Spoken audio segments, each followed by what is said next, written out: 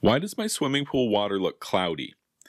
If your pool water looks cloudy, probably you're in a situation where your pool's about to turn green. Likely you have an insufficient amount of chemical sanitizer or you don't have enough chlorine in the water. And you might be thinking, well, I don't know, I tested it and there was some chlorine.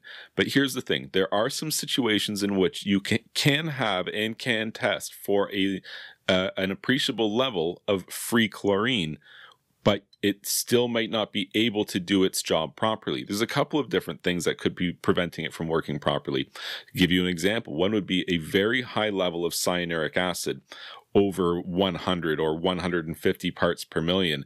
You would have to have a very high chlorine level to prevent your water from turning green at that point. So if your water is cloudy, that is almost always the event that happens directly before your water turns green. And if you were to do a complete chemical analysis of the water, likely we're going to find something wrong that is eh, a result of your free chlorine levels not being high enough or your chlorine not being able to do its job properly.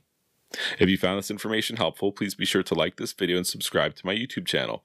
And you can check out my website, swimmingpoolsteve.com.